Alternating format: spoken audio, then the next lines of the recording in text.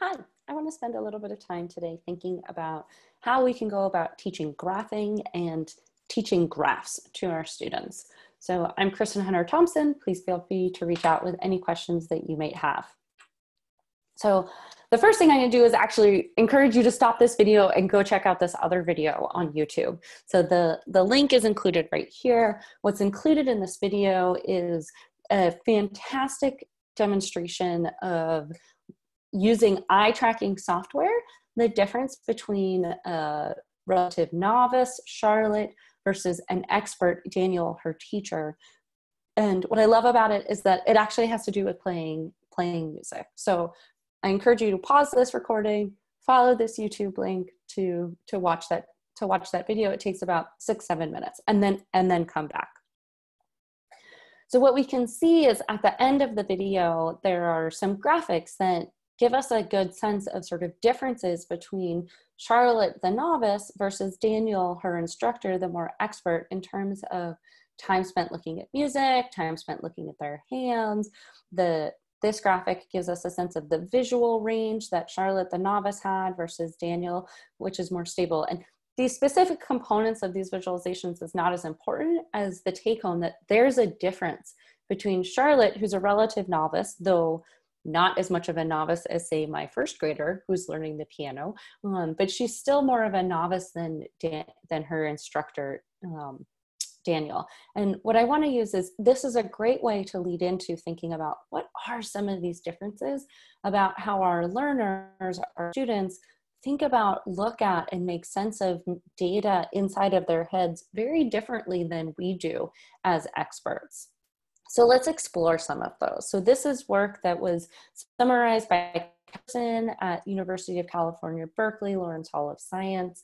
And what I, but let's think about how it applies to data. So one of the big differences is that novices, as they're learning new information, as they're taking information in, novices often focus on surface attributes, whereas as experts, we notice features and meaningful patterns that are not necessarily often noticed by novices. So what's the data example?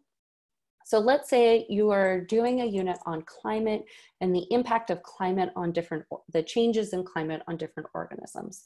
So here you are, you're looking at black sea bass. It's a common fish species off of the eastern seaboard. And what we're looking at is we're looking at the average latitude where the sort of center average location where every black sea bass that was recorded from a given year was found. And then what we're, so this is a time series, we're looking at time along the, the x-axis. So from the mid 1960s to the mid 2010s. And how this component of the difference between novice and experts often manifests itself is that as experts who are familiar with looking at time series data, even if you know nothing about black sea bass and their average latitude, you can generally look at this graph and see, okay, there's an increasing trend. So that over time, over these decades, the average latitude where we find black sea bass has increased. Yes, there, there's variability, there's up and down, but the general trend is that there's been an increase in the latitude that we find them at. Whereas our novices, get really stuck on this, it goes up and down. And it's not their fault, right? That's the surface attribute. There are high points and there are low points and there are high points and there are low points. And it gets hard for them to kind of, in essence, sort of blur their vision of those surface attributes to see, to see the overall trend. Another component of a difference between novice and experts is that novices don't chunk their information they instead they memorize or sort of remember individual different pieces so in their brain it sort of works as a list of facts and laws and so they're not certain kind of which fact or law or anecdote or component or piece that they read somewhere or something that their instructor told them at some point.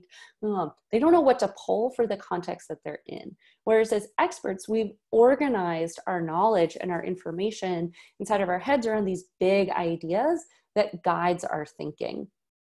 And so when we approach a new problem, when we're asked something new, we can we can use that organization of those big ideas to think about okay well what do i need? And what what should i pull to use from to be able to answer this question or problem put in front of me?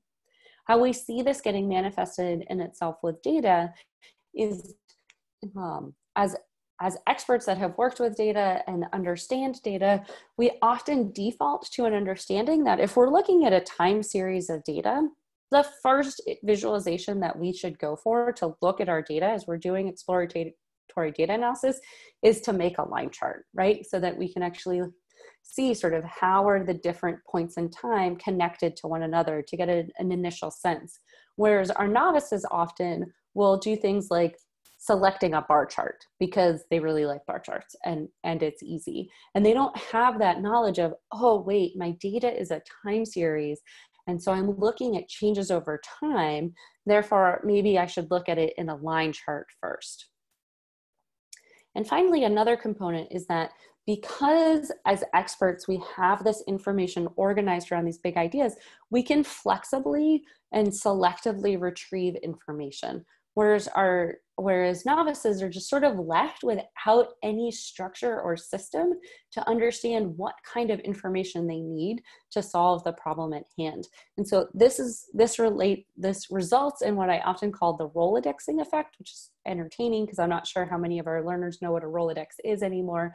Um, but in essence, their brain is just sort of twirling through a variety of different facts and pieces of information that they have and just sort of grasping at different components inside of their brain, as opposed to we can think about, oh, okay, wait, so this has to do with time. So let me like think about all the other previous experiences where I've worked with time data and what did I use then and use that to inform the choices that we're making.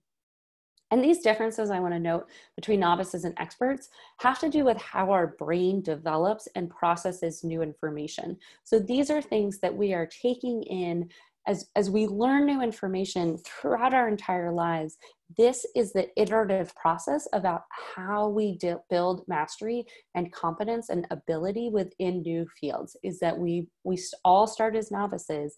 And over time and practice and iteration we move more into this expert side of our ability to work with data. But we need that repeated time and iteration and ability to engage in that work ourselves to think to move our brains from sort of this novice side to the expert side of how we organize information.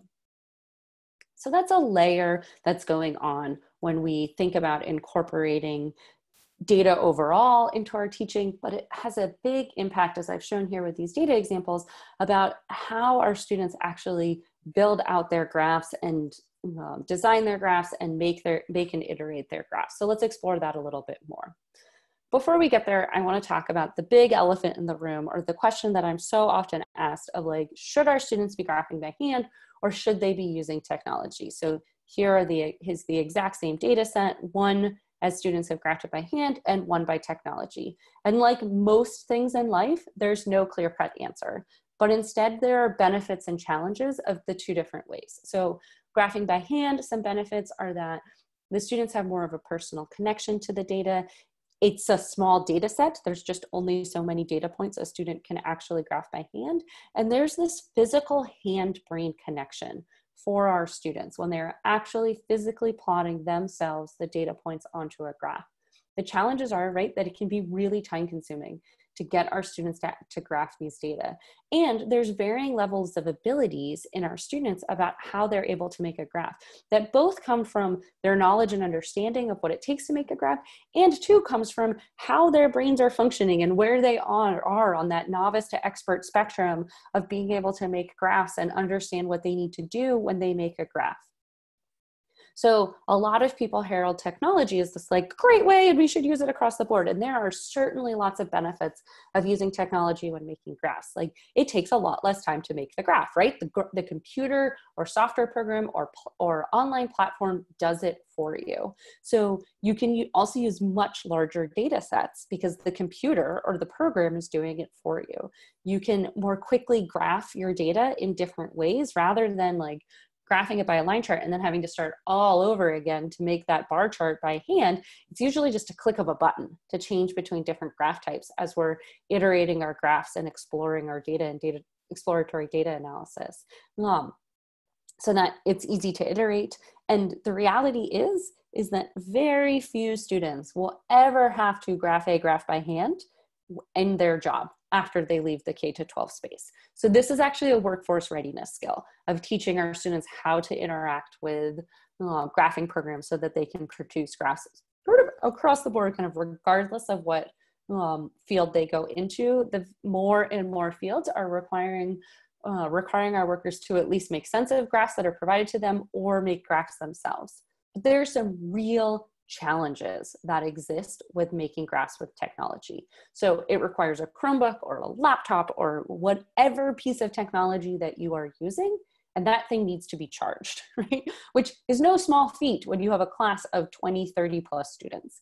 Um, the technology and access to it can be unreliable, especially if we're using online platforms or even computer-based software programs that have run out of date and then they need to be updated. We have our firewalls and different things like that.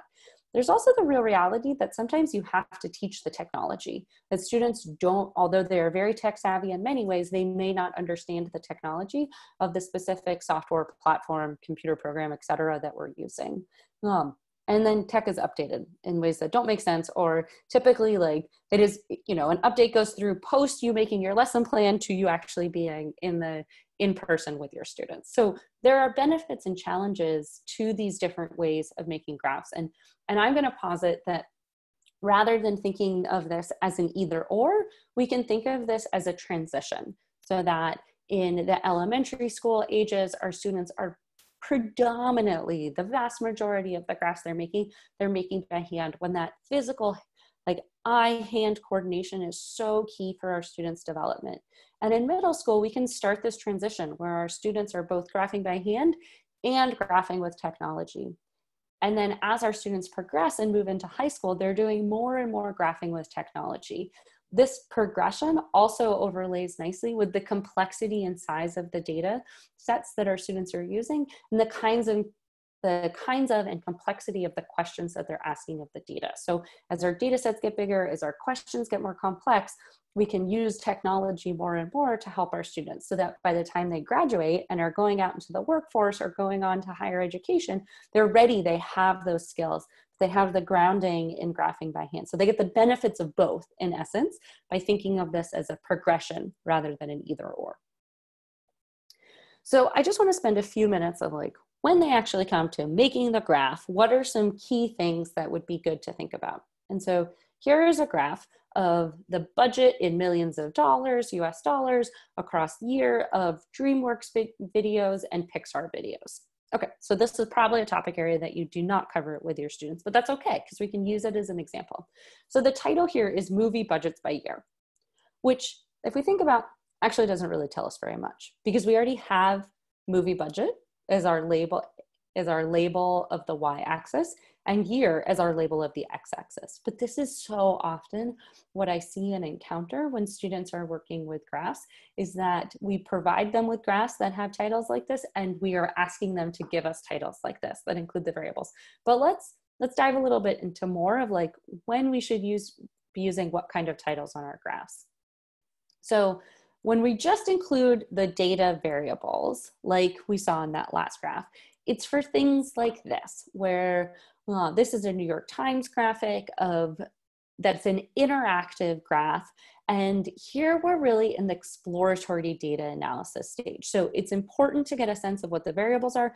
Notice actually that they're included here in the title rather than included as axis labels because that would be redundant. But it's it's this invitation in to come explore the data. These are the variables you have.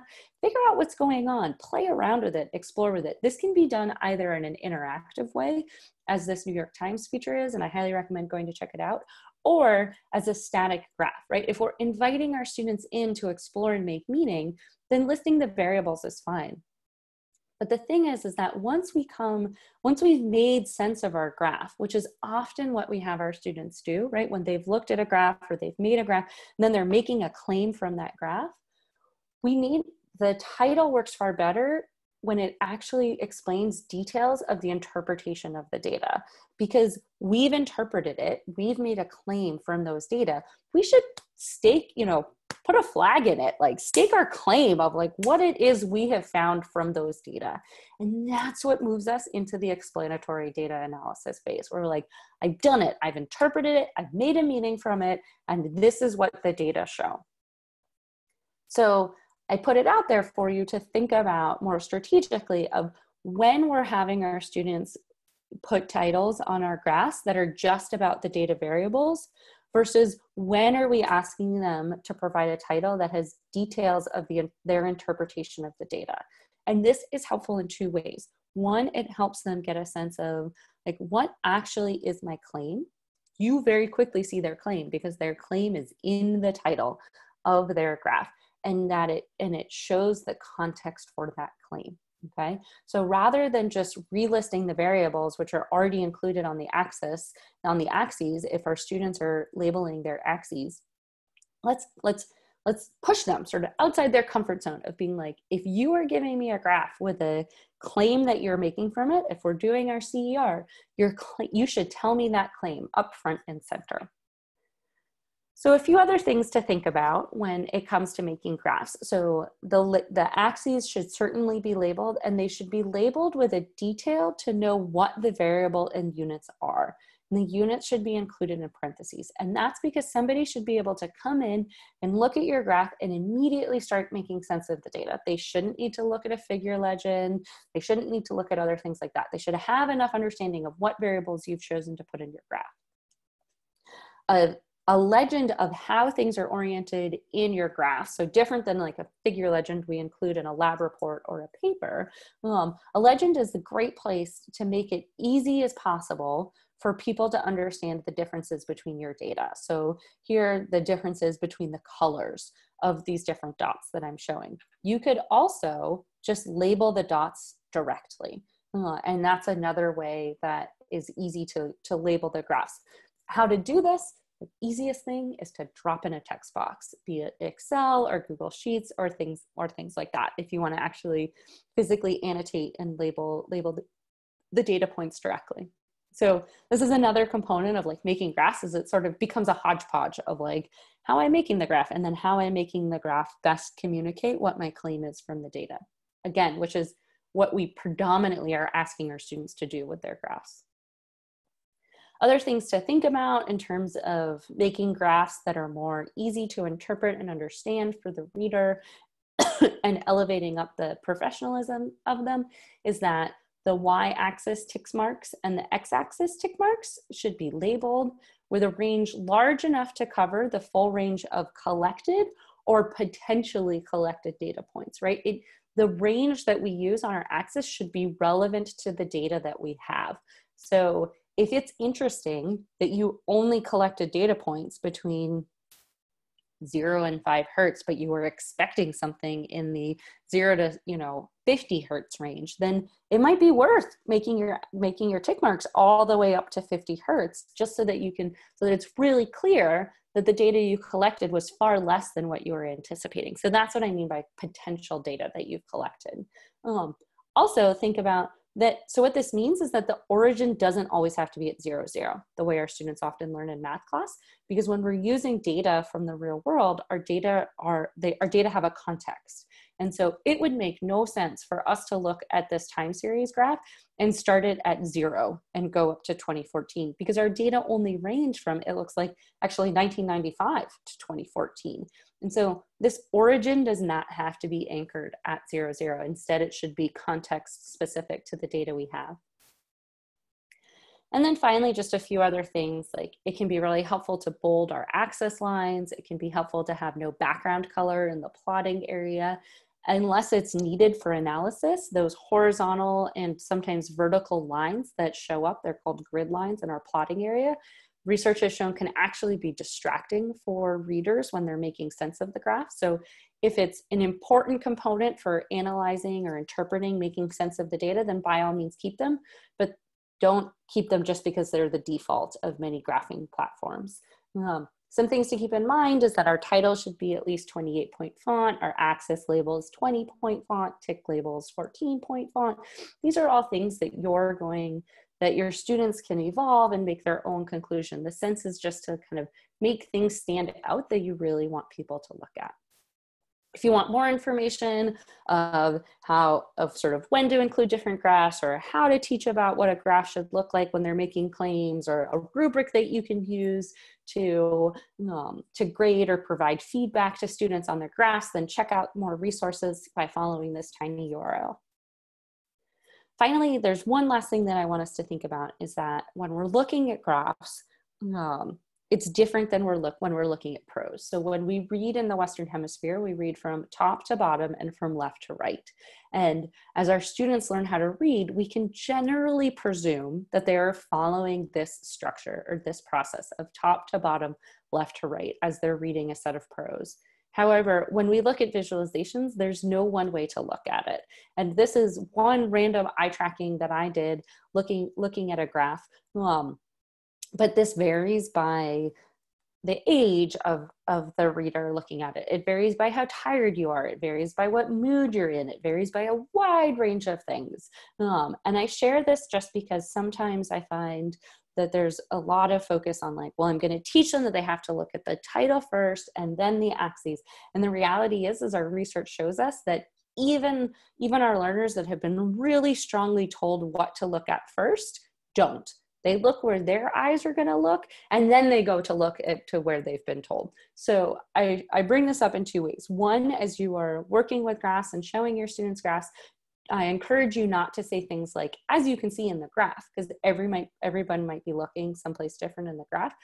And then two, to sort of open it up a little bit about how we are encouraging our students to make sense of a graph recognizing that we all we all look at it differently and make sense of it differently or at least in different orders initially and this is a subconscious thing that we do so that was sort of some quick tips and tricks about how to help how to incorporate graphing and teaching graphs and what are how to help our students make their graphs. If you have, as always, if you have any questions, please feel free to reach out to me. I'm happy to answer any questions that you might have.